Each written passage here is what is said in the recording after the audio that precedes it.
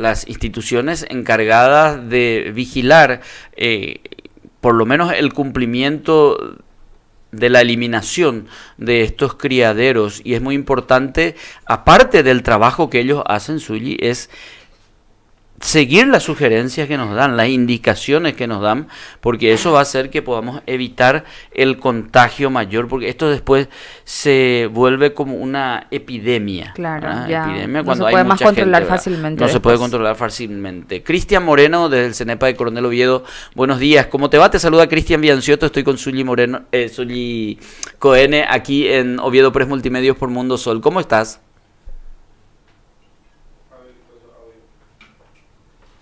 Bueno, vamos a ver si puede habilitar el audio ahí para poder eh, tener el contacto con Cristian Moreno. Ahí le escuchamos. Ahora te escuchamos. ¿Cómo estás, Cristian? Bueno, ¿qué tal? Buenos días, Cristian. Buenos días, Zully. Buenos días para también los televidentes y radio escucha, en este caso de esta prestigiosa emisora, la cual entonces vamos a conversar un poquito con referente a lo que es este tema que bien ya mencionaste que prácticamente se está volviendo eh, muy preocupante debido a los aumentos de, los casos sospechosos y realmente si no actuamos a tiempo esto puede, puede traer sus consecuencias. Esto de actuar a tiempo significa estar en constante vigilancia sobre los posibles criaderos de mosquito, Cristian. Totalmente, totalmente. De hecho que eh, nuestro clima tampoco ayuda mucho. Eh, Bien mencionaste, ¿verdad?, que en estos últimos días tuvimos una importante cantidad de, lluvias caídas, ¿verdad? También el tema del, sol que sale también al día siguiente, la temperatura elevada, entonces eso ayuda bastante para poder eh, eclosionar de manera más precoz, más rápida. Eh, por esa razón tenemos esta invasión de mosquitos prácticamente, Cristian. Ahora, Cristian, eh, yo creo que nunca es suficiente repetir todos los cuidados que hay que tener y por sobre todas las cosas es evitar tener agua acumulada eh, donde pueda las larvas criar mosquitos. Eso creo que es la base fundamental para esta lucha. Sí, totalmente. De hecho que nuestro enemigo principal Mosquitos hay muchísimo, como justamente algún colega tuyo el día de ayer estaba mencionando. Pero acá nuestro nuestro enemigo mayor es el Aedes aegypti. El Aedes aegypti normalmente busca recipientes donde haya aguas estancadas, agua limpia. Eh, por eso nosotros siempre le decimos cariñosamente el mosquito fifí, ¿verdad? Aparte de eso, eh, se vuelve eh, de manera intradomiciliaria, o sea que puede ser perio intradomiciliaria, no le gusta la canaleta, no le gusta tanto. Ciertamente se habla mucho del tema de las malezas y todo eso, ¿verdad? Pero ¿qué pasa? En las malezas a veces se suelen tirar, eh, por ejemplo, las basuras, en ella puede contener algunos recipientes, entonces al caer eh, las lluvias normalmente puede juntar y eso puede ser eh, criaderos potenciales, ¿verdad? Nosotros siempre en el CENEPA hablamos mucho de lo que son dos tipos de criaderos, que serían criaderos potenciales, que son todos aquellos objetos que pueda juntar agua, ya, sea tapitas, latas, juguetes, bebederos de animales, canaletas, pozos, entre otros, ¿verdad? Todo, todo eso son criaderos potenciales. Pero cuando nosotros decimos, la, o sea, que hablamos de lo que sería de mayor preocupación, es cuando tiene en ella la presencia de, las larvas. Es decir, eh, en ellas, por ejemplo, el mosquito puede venir a, a, desovar y, entonces allí ya podemos encontrar y, por supuesto eso puede ser. Normalmente los mosquitos salen estériles, ¿verdad? Hasta ahora es un poco discutida esa acción de que se habla hasta inclusive de que alguna literatura dice que eh, el mosquito Aedes si está infectado y pone huevo de ahí dos a tres puede llegar a salir. Eso es discutible todavía hasta el momento. Pero eh, normalmente en su gran mayoría los aedes que salen eh, como mosquito adulto o zancudo, entonces estos nacen estéril.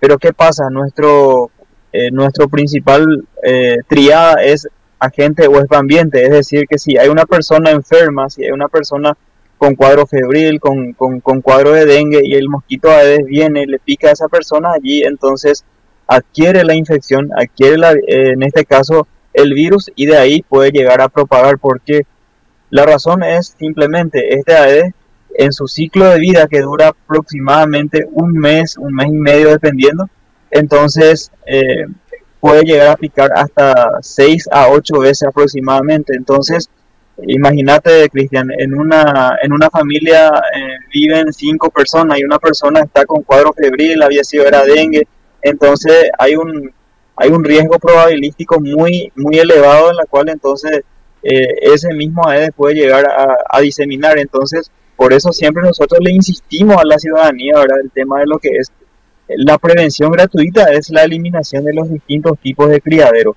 Y por otra parte, también complementar lo que sería, eh, lógicamente, la supervisión, los trabajos entomológicos, los trabajos epidemiológicos en cuanto a lo que es eh, eliminaciones eh, físicas y también los bloqueos químicos, ¿verdad? Que también ayuda y es muy importante.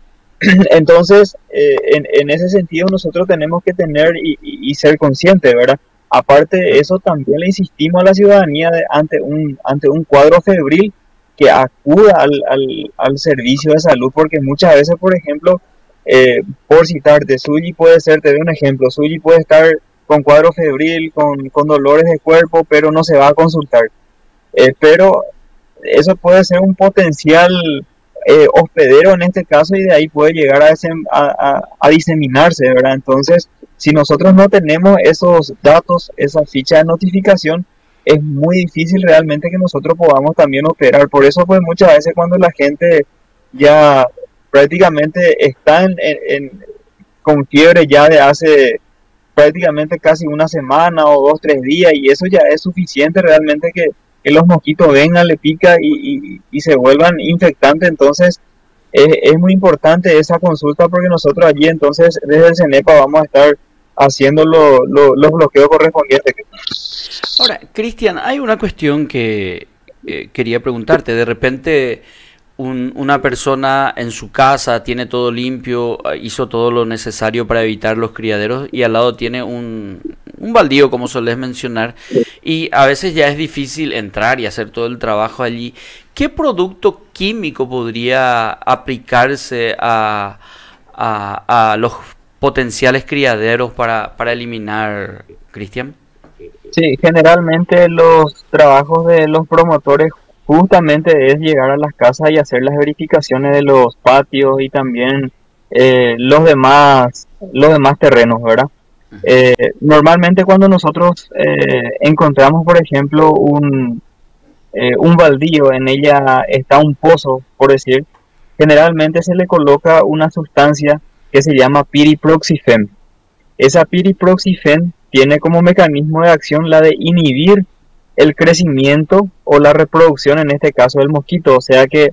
¿Es de uso controlado o un ciudadano común puede utilizar estos productos químicos para bloquear los criaderos? No, normalmente, normalmente la gente, o bueno, de hecho que la dosificación hace, hace la parte técnica los NPero, que se coloca, ¿verdad? Y eso se, se coloca en, una, en, un, en, en un sobrecito, la cual entonces está dosificada y eso puede venir a colocar en los pozos y eso que generalmente se, se utiliza. Entonces... ¿Y, y, eh, esto es de, de, venta libre y dónde se encuentra? No, no, no. en realidad, en realidad yo desconozco prácticamente que se venda en, en las agroveterinarias o algo así, pero nosotros en CENEPA tenemos el inhibidor de crecimiento que es la piriproxifen que la gente siempre se va y dice hay potasio pozo pero ah, ¿verdad? Entonces eso también se utiliza para colocar por ejemplo las cubiertas porque las cubiertas a veces suelen tener agua y entonces es de difícil eliminación entonces se coloca un poquitito en ella eh, esa, e, ese inhibidor de crecimiento para que la gente pueda conocer el, término inhibición para que para que pueda comprender mejor es eh, comúnmente la gente en guaraní dice güero, ¿verdad? O sea que para que no se reproduzcan dos de ñande ñande ¿verdad? Entonces, esa es la finalidad de ese de, de, de, esa sustancia. Buen día, Cristian. Quiero hacerte una consulta ya que estabas tocando tema de cubiertas. ¿Se está haciendo un control riguroso en cuanto a las gomerías? Veo que hay muchísimas cubiertas ahí con agua estancada. ¿Se hace un recorrido y un control riguroso en cuanto a eso por parte de CENEPA? Buen día, soy eh, sí, así mismo. De hecho, se está realizando los controles de gomería. Se está eh, verificando eso específicamente si es que cumplen las normativas, ¿verdad? Siempre y cuando nosotros trabajamos muy de cerca también con el Departamento de Medio Ambiente de la Municipalidad, justamente con el, con el licenciado eh, Néstor Cardoso, la cual siempre tratamos de buscar estrategia y llegar de la, de la manera eh, más correcta ¿verdad? A, la, a la ciudadanía, porque muchas veces nosotros hacemos las recomendaciones al principio, porque muchas veces la gente dice, no, va a ir con la y directamente, ¿verdad? No, no, no, no vendría al caso, ¿verdad? Pero eh, siempre es importante tratar de, de, llegar a las buenas, hacer las verificaciones y en todo caso eh, insistirle, ¿verdad? Y, y volver nuevamente en, en, las 72 horas y es que nuevamente se, se van cumpliendo. Están los compañeros de, del, del servicio de entomología que justamente ellos son los encargados de, de realizar esa esa analítica, esa, esa observación de las larvas, por ejemplo, si son eh, compatibles con Aedes aegypti o si son eh, del, del, género común, ¿verdad? Que es el Culex. Entonces, si, si encontramos, por ejemplo, Aedes, entonces es muy importante tener en cuenta eh, esos controles y justamente se hace, se hace el, el bloqueo correspondiente, pero por decir, si, si sus cubiertas, por ejemplo, están a las afueras, están sin ninguna protección, eh, hay una probabilidad de que si llueve entre agua, entonces allí se hacen las, notificaciones y, y entonces eh, se le da como, como, un, como un aviso al, al, al dueño de la gomería o de los talleres o, o chatarrería que fuera, ¿verdad? Entonces eh, se está haciendo, se, se está verificando y se está recorriendo. Justamente se están pegando la, los afiches y eso para que podamos también promover, porque de una u otra forma bueno, otra cuestión que quería preguntarte ya de mi parte, al menos para despedir. Eh, una persona que tenga positivo de dengue en la casa y los demás no tienen ningún tipo de síntomas todavía, ¿qué cuidados tomar esa persona que tiene positivo de dengue y las demás, los demás miembros de la familia? Bueno, de hecho que ante un caso febril siempre nosotros insistimos mucho, ¿verdad? Que acuda al servicio de salud más cercano. Acá nosotros, por, por ejemplo, tenemos hospitales, eh, hospital regional, tenemos una, una, o sea que varios unidades de salud familiares acá cerca eh, a, la, a las alrededores, ¿verdad? También hay clínicas privadas, IPS. No, y eso, la, persona ya hizo su, su análisis, su estudio y le salió positivo de dengue. Una sola, un solo integrante de la familia. ¿Cómo tiene que cuidarse esta persona? ¿Tiene que aislarse? O para no también exponer a, a los demás miembros. Sí. Entonces, entonces, a lo que vamos es justamente, ya, ya, ya tiene, por ejemplo, su resultado, como mencionaste, que es positivo. Entonces, siempre nosotros insistimos, no aislarle así como, como en época de COVID, pero sí por lo menos que pueda que pueda eh, cuidarse con el tema del uso de repelente por lo menos cada cuatro horas, eh, usar por lo menos, o sea que por lo menos guardar reposo durante las 72 horas que va a ser eh, que, va a ser de gran ayuda específicamente durante su, su estadio de convalecencia, ¿verdad? Entonces, eh, el tema del uso de los repelentes, por lo menos cada cuatro horas, eso va a ayudar bastante también para poder, a fin de evitar el sueño. Porque la gente muchas veces utiliza, utiliza, la mañanita y después ya, ya deja. Eh, la efectividad del repelente es tiene que ver mucho también con el porcentaje de de químico que tiene y el, la extensión horaria de su efectividad. Sí, totalmente. Más todavía en época de en época de verano sudamos más, el, excretamos más rápido, entonces por esa razón, ¿verdad? Eh, hoy en día, por ejemplo, hay hay ciertas eh, ciertos preparados, como por ejemplo la citronela y eso que la gente utiliza mucho en la en las casas, ¿verdad? Entonces hay métodos como para poder cuidar. El tema es muchas veces. ¿El espiral sigue siendo efectivo para eso? Y el, el tema del espiral es cuestionable porque nosotros, por ejemplo, siempre hablamos de eso con la ciudadanía y dice, amo timbola se espiral a Pepe o bebé la dice, ¿verdad? Es por mm. el tema de la resistencia que, que suele llegar a generar, porque estos mosquitos realmente tienen una variabilidad genética muy interesante, la cual entonces se adapta perfectamente. Por eso pues la gente a la gente hay que aclarar que eh, muchas veces cuando aparece dengue la gente quiere que rociemos por toda la ciudad. La solución no es esa, lastimosamente por el tema de que eh, rociamos y en dos tres días sabemos que ya van a ser, vamos a decir, prácticamente todo otra vez, ya va a eclosionar, entonces vamos a tener otra vez los mosquitos y entonces no es la solución. Lastimosamente podemos causar un impacto medioambiental bastante, bastante severa porque muchas veces, por ejemplo, eh, existen también insectos que son eh, benéficos, por ejemplo, que se alimentan como, como predadores, por ejemplo,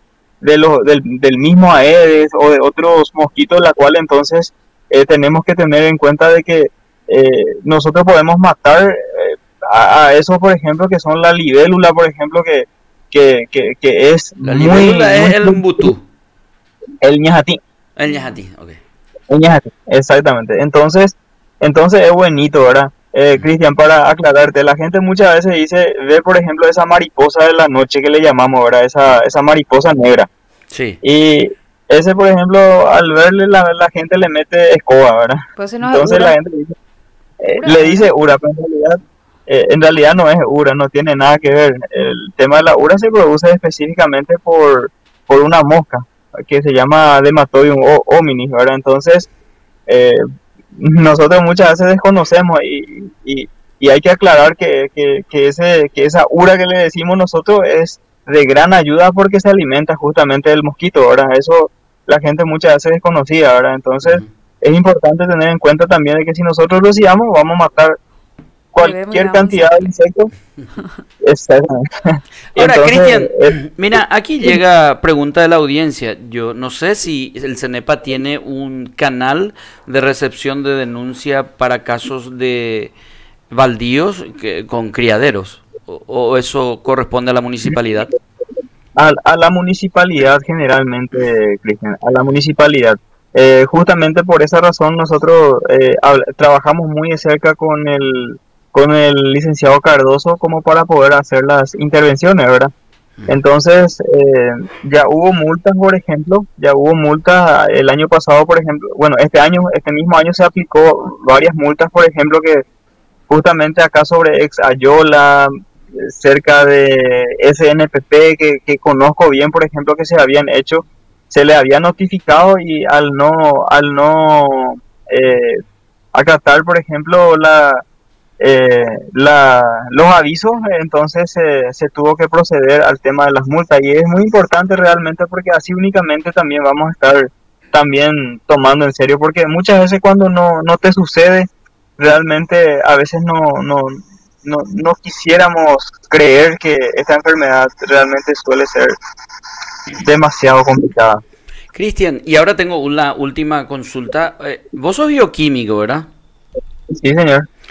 Eh, farmacéutico también. Bueno, y, te voy a no sé si está en tu, en tu campo, ¿verdad? Pero aquí con Zully en el programa siempre solemos decir, el Aedes aegypti, eh, a ver, es el que produce el dengue y el chikungunya.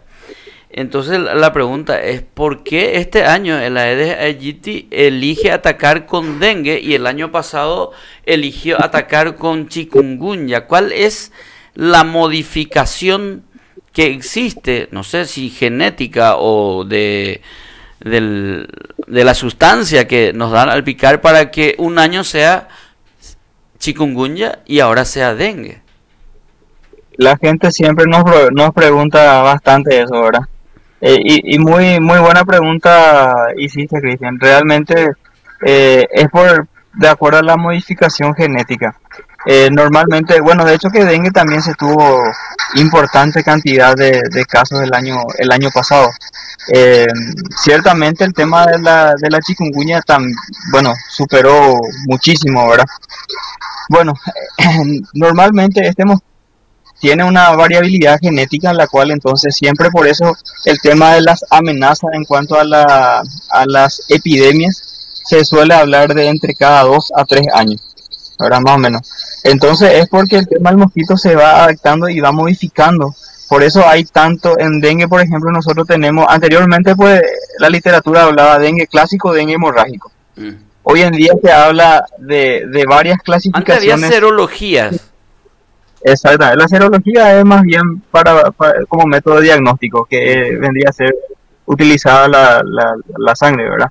Pero ¿qué pasa? Normalmente entonces, de acuerdo a esa variabilidad genética, Hoy en día nosotros encontramos, por ejemplo, el DEN tipo 1, que es el, el dengue clásico que le llamamos. El DEN tipo 2, que ya muchas veces se suele confundir levemente con un cuadro gripal, a veces hasta inclusive se confunde con una, eh, con una influenza, porque suele dar un toque respiratorio, a veces suele dar, por ejemplo, un toque digestivo, el ayer y eso que suele dar.